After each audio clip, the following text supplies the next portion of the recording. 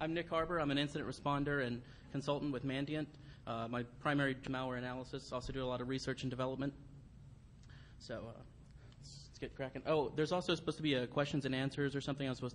they want me to keep me hostage in there for two hours. Uh, gonna have to bail on that. As you can imagine, that doesn't sound too entertaining. I did compete in the race to zero competition, so I'd kind of like to get over there and see if I won or not. But um, so apologize for not having an extended two-hour QA session. So let's. Uh, so here's what we're going to talk about a little bit today. We're going to start out. I'm going to go over some basics on Packers and exactly what the current state of the, the field is today, and um, a little bit of theory behind them. And then I'm going to talk about uh, my tool that I'm releasing called PE Scrambler and how it's different from what's out there today. And uh, I'm going to rant a little bit about. Um, I'm going to rant about the challenges and headaches I faced when writing the tool. Uh, it was kind of a pain. And I'm going to discuss piecewise some of the techniques that it's using and uh, go into the theory on exactly how they work, why they work, what the flaws might be in modern disassembly techniques, and things like that. Um, the future avenues of development, such as the polymorphic code replacement. Uh, and then I have a tool for the good guys uh, at the end, which is a malware detection tool that uses a disassembler to detect packed binaries and malware. So, releasing two tools today. This is a, a talk that's going to encompass both of them.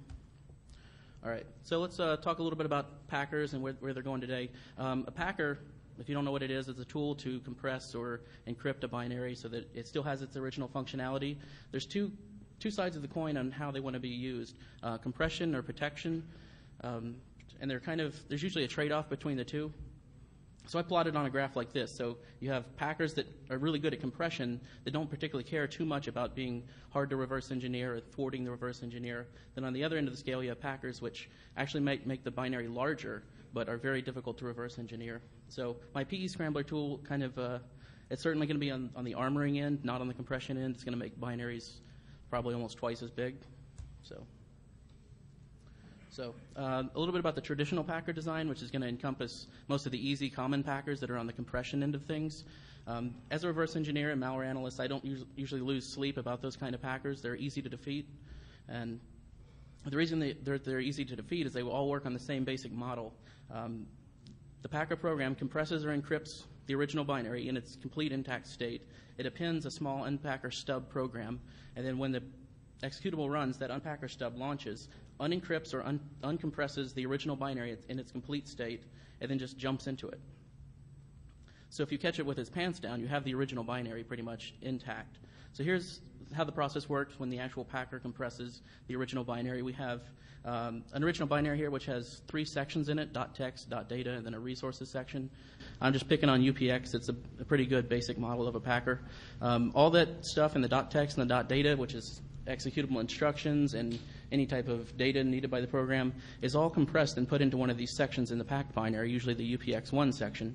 And that's also where um, you get the, the, stub program put right in that same thing. And there's a UPX0 section, which is just kind of an empty placeholder, uh, and we'll see how that loads. Whenever you launch the packed binary, uh, it looks quite a bit different in memory than it did on disk. You have that UPX0 section, which was empty in the, in the actual file that becomes much larger in memory and actually comes the size, pretty much the size of all the original data. So the entry point in the packed binary launches. The stub program unpacks the original code out of its section and populates it into the UPX0 section, and then it just jumps right into it. And most uh, traditional packers are kind of just theme and variations on this very basic model. You have a packed payload, you have a, a kind of a landing zone where you want to put it. The unpacker stub through any type of gyration and mechanism, unpacks it in its complete original state. So the binary has to get back to a point um, where it was originally compiled to run from. There's not a whole lot of moving that you can do on where that thing is. So, like I said, they're easy to defeat. There's many ways you can use to detect these basic packers. We can uh, detect when code is being overwritten. We can detect when that section jump occurs, like when the unpacker stub jumps into something that doesn't didn't used to be code. And uh, the main problem is that it, un- it uncompresses the original binary into memory. So if you catch it while it's running, um, you have it and you can easily reverse engineer it. Nothing's been changed with that binary. So stepping it up a notch, um, some more sophisticated packers uh, do some things mainly with actually modifying that original binary. So at no point do you actually have a complete original intact binary that you can easily reverse engineer in IDA Pro. So uh, Thermida and VM Protect are pretty good examples. They actually translate the instructions in the original binary into like a virtual machine language that executes. Um, that's particularly tricky, but it also, as you can imagine, might have some problems and compatibility and whatnot. Uh, those are commercial tools, and they cost quite a bit of, bit of money to run. So, and it's always kind of used at your own risk. Not that my tool isn't, but uh, I work on a slightly different model. So how my little uh, packer works is I, uh, I manipulate the x86 instructions for the purpose of anti-reverse engineering. So I have a disassembler, so I basically disassemble the whole binary, and based on all that analysis, I can uh, move around chunks of code, I can wrap chunks of code, I can do all sorts of things. I can hijack function calls, um, wrap chunks of code in anti-reverse engineering, and uh, later on we'll get into some polymorphic stuff that I can do. So some of the challenges and headaches I've had when writing this is there's no error, there's no margin of error for bad disassembly. So since I'm in the business of finding instructions and manipulating them and moving them around, if I do that on something that wasn't actually instructions to begin with, potentially serious problems with the binary. It's not going to work. So IDA Pro can get away with that in its disassembly because, ah, whatever. It disassembled something that wasn't real. You know, the user can go in there and mess with it and it's fine. But for me, um, I have a, a realistic set standard on what needs to be proper disassembly. It simply will bomb out my whole program if it isn't perfect. So I spent most of this project actually refining the disassembler, getting uh, reducing false positives, and getting the code really to a true um, disassembly, which is uh, pretty interesting. There's a lot into that. It's pretty amazing that pretty much almost any arbitrary data structure can look like Intel assembly if you disassemble it, even though it completely isn't. So, so my disassembler is very pessimistic, and I'm going to use this same disassembler engine and the, the other tool I'm going to show you at the end of the talk, which I can use to find malware. All right, so let's get into the first little trick I can do. It's called, uh, I just called it function call dispatching. So basically, I'm going to, with my disassembly, I'm going to find every uh, function call in the program, whether it's to an internal function or to, to something from the import table, like an external DLL. I can find each one of those instructions and actually remap them to a tiny little 65 byte function that I insert into the binary. And this function is basically then going to call whatever it was supposed to call. So, so if you look at an original call tree of a, of a function, so we have function A that calls B and C, and then each one of those calls functions of its own. If you dispatch all these with, and you remap them all to point to the dispatcher, the call tree is completely obliterated. It all looks like everything is just calling one function. It's pretty sweet. And once, once we have the ability to do that, we can do further avenues of research and like um, function level packing and things like that. So um, how this thing works, it works based off of the return pointer. So I'm just going to cover a quick primer on the return pointer for anybody that's a little bit new to this. Um, so here's a, a quick snippet of C code. Prints out two things. When this gets compiled, we get this uh, set of assembly instructions. Notice those two call instructions. That's the real important guys that we're looking at here. So we see offsets being pushed to the printf and whatnot. So I'm going to step through this and watch how it executes. First, the push. So you see the string hello world pushed on the stack, or really a pointer to it. Now, when the call instruction executes, this is the key point here. The thing that was pushed on the stack is what's called the return pointer. So that's going to point back to the next instruction in the list. So when the printf function is done, it knows where it needs to get back to in your program. And we can continue stepping through. And the same thing happens for every single function call. And in most binaries, like that return pointer is never going to change. For every return pointer, I should know, based on disassembly, what function was supposed to have been called by the previous call instruction. It's pretty basic. So the function called dispatcher, all it does is it has a table of return pointers and then a table of targets. So whenever it gets called, it checks the return pointer off the stack and sees what it's supposed to call. It sets up the stack and jumps to it. It's beautiful. All right. So the next concept here is uh, code chunking. So this is going to kind of open the avenue for a lot more advanced areas of research because the main problem you have with trying to add anti-reverse engineering code into a binary is that you don't have the ability to just wedge in extra bytes into a binary and then hope that it works. It simply doesn't work that way. Um, it's going to fail pretty miserably. That's what I tried when I was young. Uh, I found it to be a lot more of a problem. But once you have the disassembly, you can know how to intelligently move things around. So that's exactly what I do. I find sequences of instructions that I can easily relocate, and I do things like I substitute a jump there and put the instructions somewhere else, and then I jump back when I'm done. Seems pretty basic, but once you have the ability to move things around, the code becomes more position independent, and I can insert code everywhere I want. So I can weave in anti-reverse engineering code to that. I can uh, um, make it also more difficult to reverse engineer because that's going to obscure the, the flow control of the program.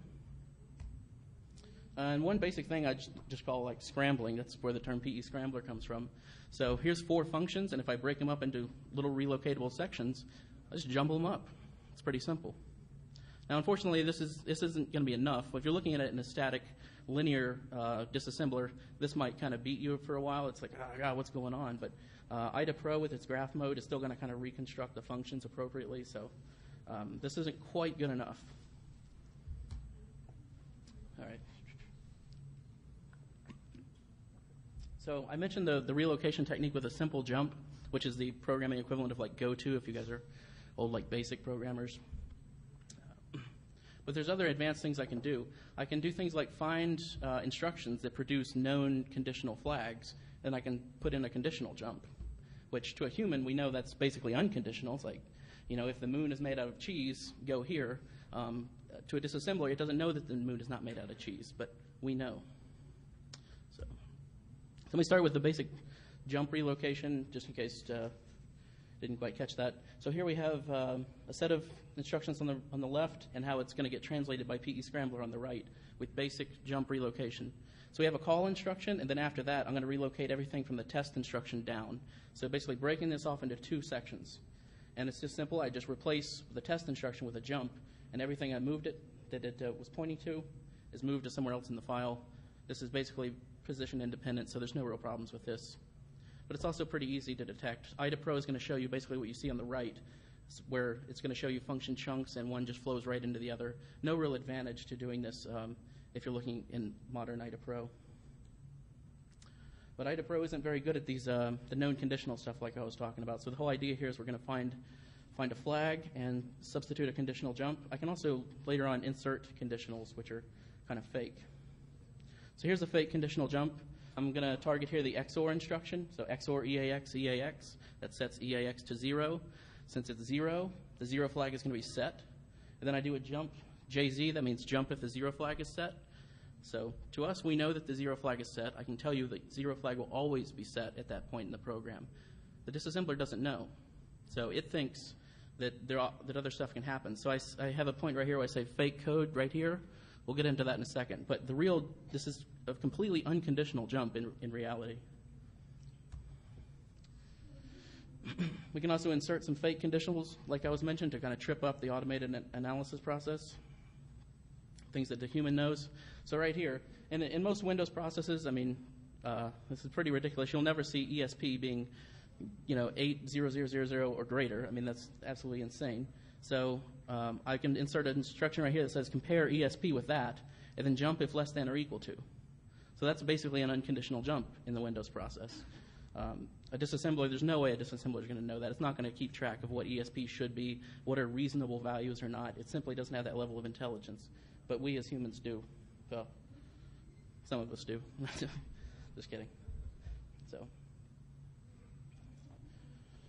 All right, so the whole point of doing these fake conditionals and everything like that and try to trip up with fake conditionals is to produce conflicting sets of disassembly. This is how you defeat a disassembler. So most disassemblers, when they come to a conditional branch, they trust the false branch first because they disassemble the false branch first. Whatever they disassemble first, they trust the most. So what we want to do is basically get the false branch executing wrong code and have that truth branch um, executing from a slightly different offset so that it actually doesn't match up.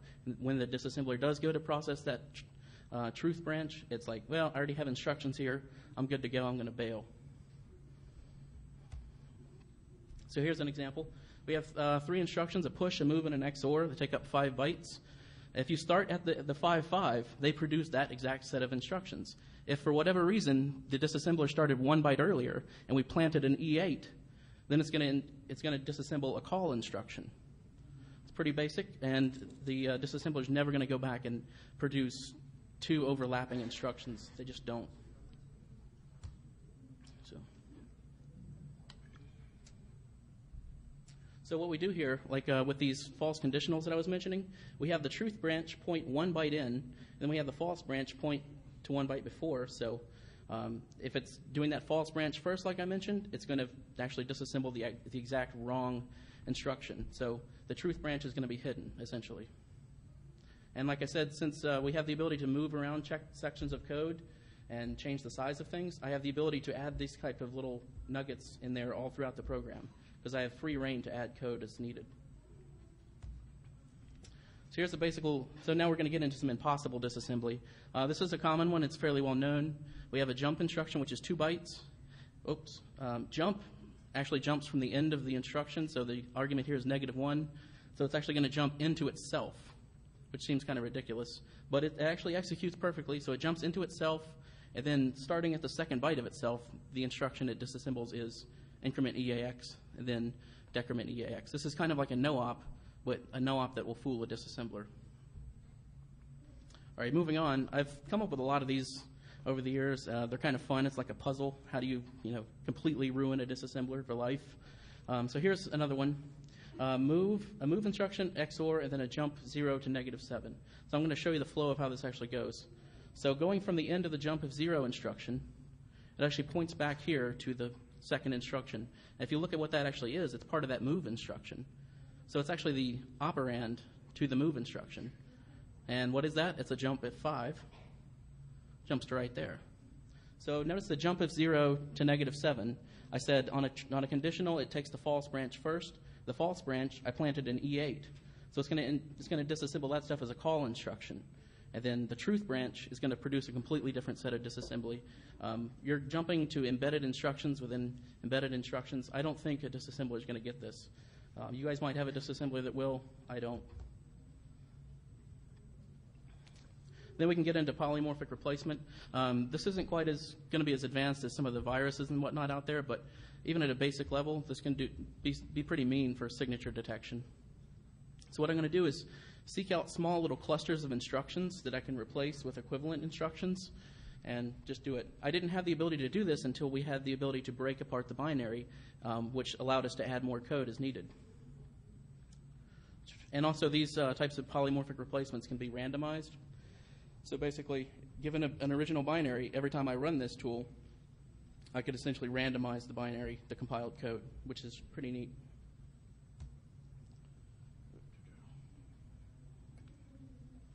So here's a few of them. Um, I have a push instruction, which is really simple. Push modifies the stack. It puts a variable on the stack.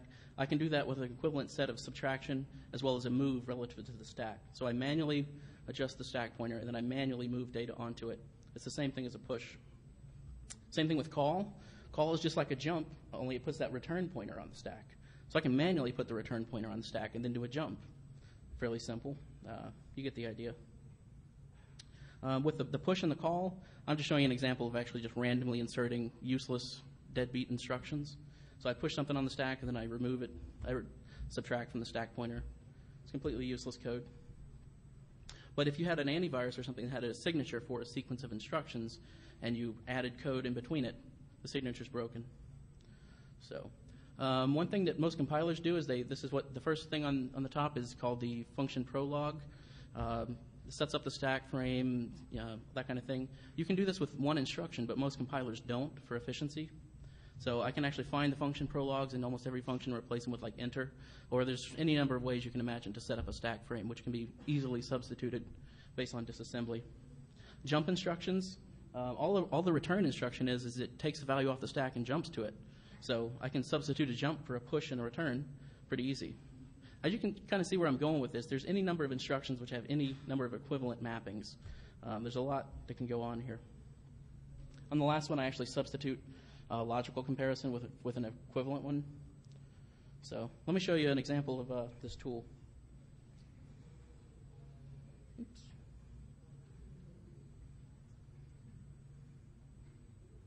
come up? Oh, it's only on the screen, so you have to trust my typing. All right, so in this uh, directory, I have pe-scrambler.exe, um, and, and I have notepad.exe. So um, pe-scrambler.exe, I run it, uh, get the, the command line options there. It just takes a dash i input file, dash o output file. There's really nothing to it. So let's specify, oops, dash i notepad dash O new notepad.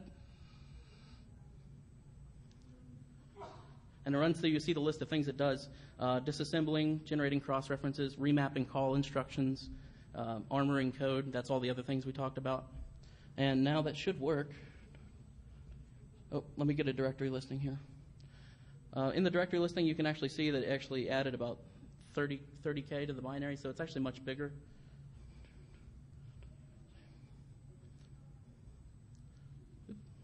Tab over. It blacked my screen. Yeah. Hold on. Shit.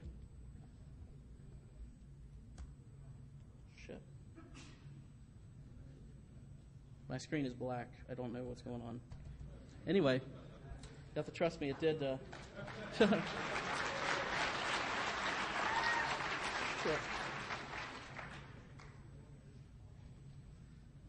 Hold on.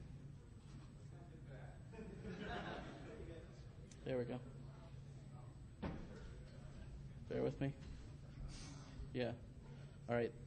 So there is Notepad launching um, right there.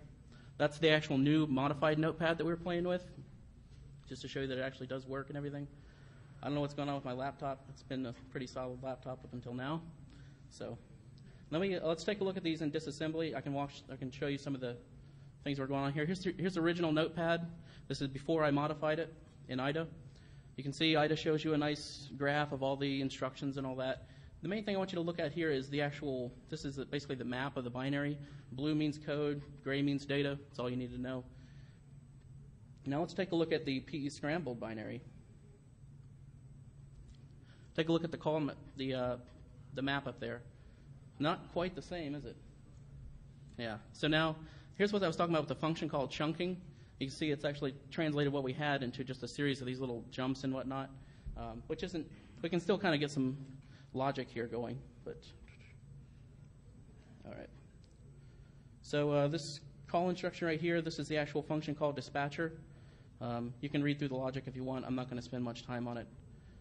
If you look at, uh, oops.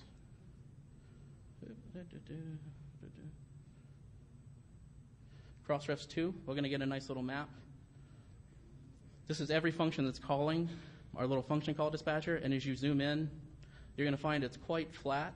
Every single call instruction in the entire binary is calling the same thing. Oh, and that's not that's not the whole story. Let's uh, let's do the equivalent. Open subviews, trackpad, graphs. Cross references from. Anybody have any ideas on what this is going to do? If you guessed jack shit, you got it right. So. The reason is IDA doesn't know exactly how my function call dispatcher works, so it doesn't know that this thing actually calls every other instruction, every other function call in the, the whole binary. So you could reverse engineer this, figure out how it works and all that. It's pretty simple, just a little bit of shell code. So um, some other cool bits, I think. Yeah, that's pretty much it. Let me show you what a, a normal call graph looks like in a normal program in case you haven't seen it. Let's go, oops. So I'm going to go up here to the top graphs, function calls. Here's a normal call graph of an entire program. And you can see through reverse engineering, you can get um, inferences here. So if I see a function that calls a bunch of registry functions, maybe that's something that does registry stuff. If I wax all this stuff with the function call redirector, it's good to go. So um, just some ideas there on what's what's going on. So, all right, moving on. Ugh. All right, I don't need to go any further. I was just going to show you one more tool. Oh, shit. We're way ahead of time. Okay, one other tool. Um, let me get this back to the top. Find evil. Um, so I have a tool here. It's a GUI. So I'm going to try to launch another GUI.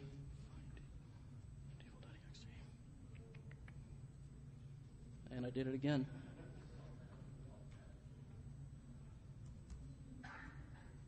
Completely blacked. Damn it. All right, so how find evil works, I'm going to go talk about what was in the slides. How find evil actually works is I disassemble a binary. Um, and based on disassembly, I know how many instructions were legitimate. My disassembler is very pessimistic, so it doesn't trust anything that it doesn't absolutely think is uh, code. So if there's any anti-disassembly tricks like what I've shown you, it completely fakes it out, um, and it won't disassemble very much code at all. So, shit. So what I do here for this defined malware is I'm going to disassemble every binary on the system. You just try to go malware hunting, disassemble every binary and see which ones don't have very many instructions that I was able to disassemble. Typically in a large binary, I should have a whole bunch of uh, instructions that were able to be disassembled, whereas packed binaries, I'm only going to disassemble maybe a little bit of the um, of the unpacker stub. Shit. Shit. There we go. Okay, here's Find Evil. No applause. oh, shit. now I'm up over here, but you're not up over there, so. Coming up, coming up. There we go. Okay. Hooray. See, I saw that I'm running a little quickly, so I, I'm purposely doing this to stall. Okay, so here's Find Evil. We just do new scan. If you've ever used the other tool I wrote called Red Curtain, um, the interface may seem a little familiar, but vastly different technologies underneath. Red Curtain did like entropy analysis on all the binaries to try to find um, binaries that had a lot of random data in them, which means usually like compressed data, uh, which is, can be used to detect packers. The problem with Red Curtain, though, is you got a lot of false negatives on some packers. If they had really weak, um, really weak compression, or they didn't do compression, they just XORed, the, the entropy score would be um, quite low. So I didn't want something that's going to give me false negatives on a packer. And this technique, I've never found a false negative. So just throwing that out there. I'm going to, whoops, not my documents. I'm going to scan just a little demo folder I have with some malware in it. Find evil malware. It scans. If you notice, that actually disassembled pretty quick. Uh, if you ever loaded a binary in IDA Pro, it takes a while to disassemble. Um, I go much faster. One of the reasons I go much faster is for this purpose, I just cap the disassembly at 10K. So once I've hit 10K, I'm assuming I'm probably not packed. I bail. So what we see here, the main column I want you to look at is code to disassembly ratio, even though it's kind of fuzzy on that screen. If it, if it detected there, there's not enough instructions for the size of the sections that are marked code, I'm going to flag that. If I detected, uh, if it disassembled 10K or more, I just mark it as green and you can move on. So that's the main field, and I've never seen a, a truly packed binary that actually um, did not score red in that column. So there's also a yellow field, but it's a little bit more rare. There's some other uh, columns in here of interest in case whatever for whatever reason that didn't quite work right. File to code. So if I have a really small file, and then I and then I go through the PE file format, and I see that actually when the thing's in memory, there should be you know a whole lot more code. That kind of uh, keys me off to the fact that maybe it's actually compressed in the file and it's going to be uncompressed in memory. So I flagged that. That's also a pretty dang good indicator. That's almost, uh, I've never seen a false positive on that one either. Some of the other columns, uh, you can take your pick. But this is a, a, good way. You can just, if you have a hard drive or whatever, you can just run this tool against it. And if there is a packed binary on there, it will be read. So, so this only has the, the problem of a, a few false positives maybe but no false negatives that I know of. Um, and both of these are available on the website. Let me skip to the end.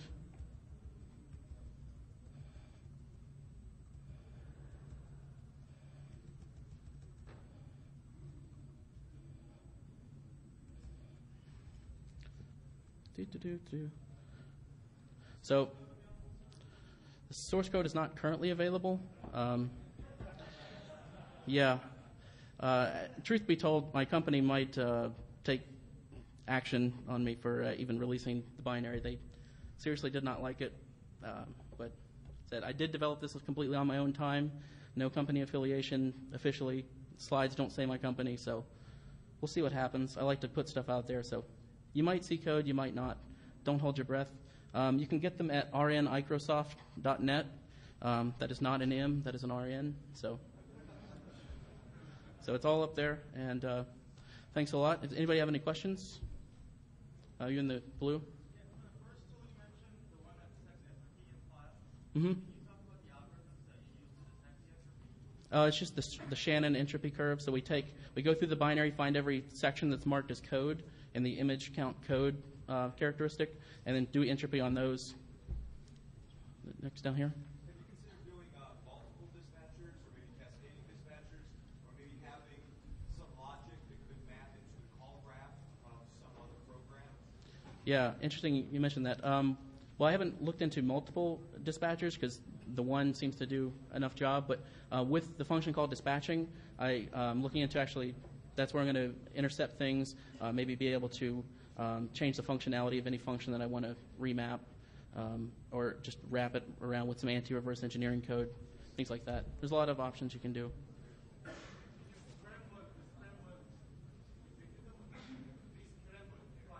Rescramble it twice? Um, not really, because my disassembler is very pessimistic. So if there's any anti-reverse engineering tricks, it just shits the bed. Um, I mean, it fails. So whenever I try to go to rescramble it, it's it's just gonna it's gonna get like three bytes in and be like, uh, dude, you know, seriously.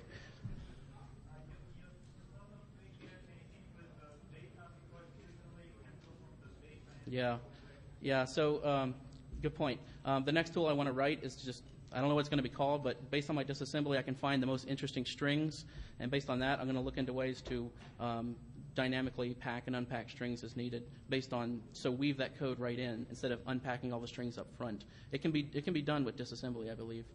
Um, so I think you've been in the back. Have had your hand up for a while. So.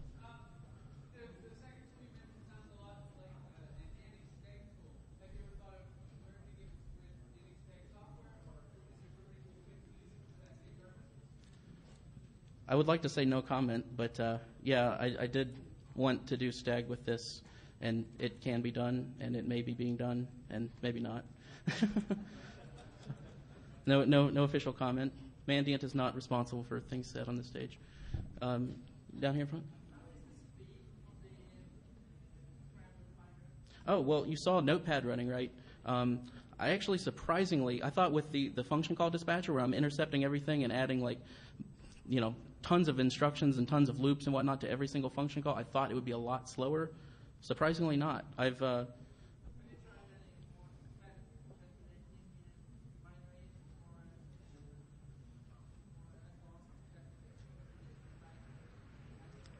You said uh, if I thought looked into more calculating.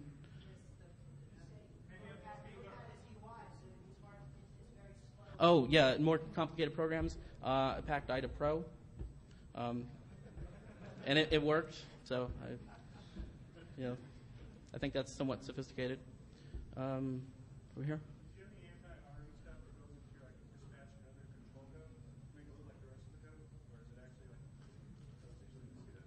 Uh, it's normally I'm putting it in. I'm just uh, whenever I relocate sections of code, I usually like put it at the beginning and just wrap it, um, or even just the simple like jump, the conditional jump trick works fairly well. Um, there is anti-debugging code I can put in. It's not in the free tool. It's on the it's on the web right now, um, and that gets it's it's really tough to debug this tool as I'm writing it because I'm writing it for the specific purpose of anti-reverse engineering, and you have to reverse engineer the output to figure out why it's failing. So. Um, like I said, this has been a nightmare project, but it's it's workable, it's it's usable, and that's uh, phenomenal. um, I have a question back there.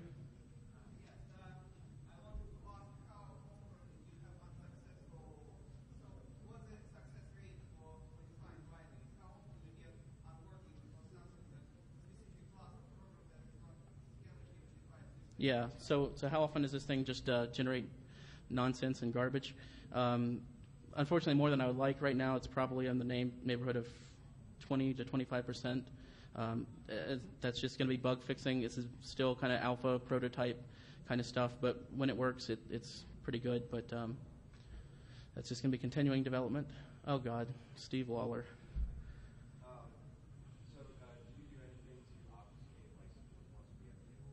Ah, that, interesting you add that. Um, I don't actually obfuscate the V table, but um, I do. I mean, the V tables do get run through because I have the ability to, with my disassembler to run through every single potential pointer in the binary, which is something IDA can't do um, because it just is too trusting and, unfor- and forgiving. So I can run through every um, you know four bytes in the binary and try to find anything that looks like it might be a pointer value. But would you consider like rewriting all these tables to point to like the V table dispatcher? A V table dispatcher. The other thing you, you should do is the RTTI information and parse it out because it's got